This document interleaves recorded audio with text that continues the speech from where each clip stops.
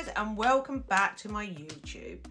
Right, if you like glitter, this is for you.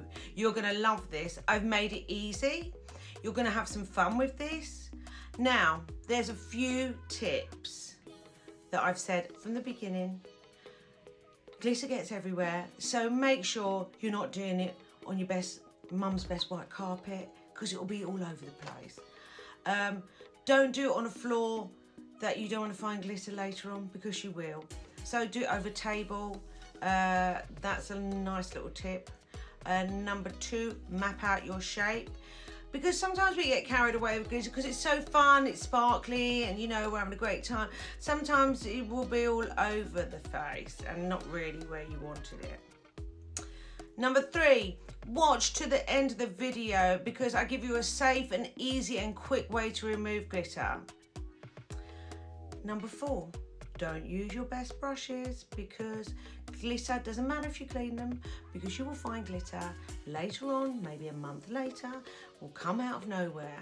So when you use your, these brushes, don't use them for anything else or don't use your best brushes because you will ruin them.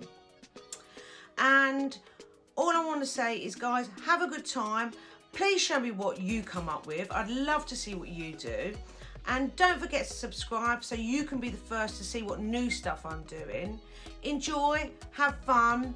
If you need to tell me new things that you would like me to do, I'm happy to hear and maybe I'll do a video for you. So I will see you soon and have a fantastic Christmas because I'm gonna. Merry Christmas! This is Cassie and I'm gonna make a kind of a glitter queen.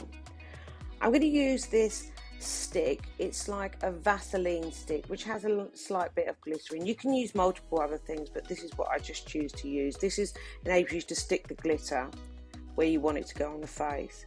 Now I'm using a flat brush, an angled flat brush, and then I'm kind of placing it on the top of the brush and then putting it straight down under the lashes, not too close because we don't want it all flicking into the eyes because that's not going to be very nice. And it will drop and that's good. And you can see I'm using the same on the other eye and you can start to see I'm, I'm making like a slight shape here. And again, pressing it in where I want the glitter to be more intense. Now it will fall and that's good because it's kind of nice and sporadic. I'm just patting it a bit more where I want it a bit more intense. But you could actually just leave it like that if you wanted. Now I'm going to take like the Vaseline stick down a bit because I'm going to do kind of a triangle under the eye. Using like a bigger glitter because I think it's nice to use things that are all different sizes so you get some depth in it and you know you need a flat brush something that's not too flexible it needs to be quite sturdy. And you place the glitter on it and then press it down onto the shape that you put on. And you can move it around slightly. When you feel you've got it in the right place then kind of like pat it down just to make it stay on. Stuff will fall though and sometimes that will look good same thing just kind of overload the brush with glitter and kind of place it where you want to go the droppage is good so it's kind of organic. You can't really make mistakes with this. It's just fun. You can also use Vaseline. You could also use lip gloss. It might be a bit sticky though, uh, or gel glitter. And you know, just mark out your shape. And what I'm kind of doing now is just positioning, you know, the glitter, big glitter bits where I want my shape to be. So that looks nice already. Now, because I like to be a perfectionist, I'm going to add a different size glitter. I'm just going to mark in the holes that I feel like I could fill. And it's quite nice with all the different sizes because it gives you a bit of depth and it will hit the light in different ways. And this is like a hieroglyphic glitter, so it's blue and pearls. And I'm taking it up onto the cheekbone because I know it's going to reflect really well. And then you can really start to map out your shape. I'm taking it up a little bit higher.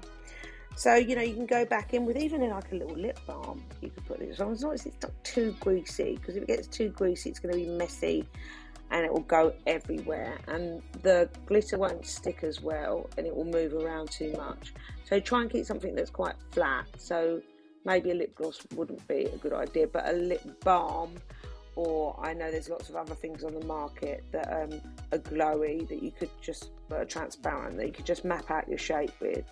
So I'm just adding a little bit more in just different sizes just to emphasize the shape a bit more I want to take it a little bit up onto the cheekbone because I feel like when it picks up the light, sometimes you see it, sometimes you don't. And you know, you can flick it away with your nails. If you've got really long nails like Cardi B, they're really great for things like this. But there you have it, a really great shape. And you know, I like to intensify by the lash line and let it just kind of fall down like beautiful tears. Now, mascara, I'm only going to put it on the top lash because I kind of really want just want to define the eyes and it's all about the underneath. So it's just a bit of definition. Keep it bare on the top, don't overload because it starts to look a little bit like too much. Because I want it to be all about the eyes, I'm going to mute down the lips with just like a, a nudie lip gloss. And you can just press it with a bit of tape just to define your shape. Now, I've taken her hair down now, and I think it's a really cool look. Really good for with a party hat. Now, if you're one of these people like me, on Christmas Day, you want a bit of glitter, a little bit of glam. If you haven't got a sparkly top or something like that, this is always quite nice. Be great in photos, little selfies. Always fun. And if you go out on Christmas night, which you may do, um, go and see other people, it will last all day and you look amazing. I use magic tape. It's not like sellotape. It's not so sticky. You need to press it on to places where you want to take it off, like you see there, and then pull it away. It will remove some, so you have to keep on going over it. So do not use sellotape. It's too harsh. But you're going to need to do this to get it off because glitter gets everywhere.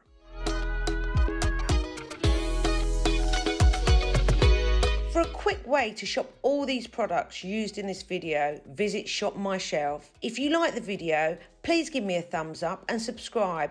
I'll see you on the next one.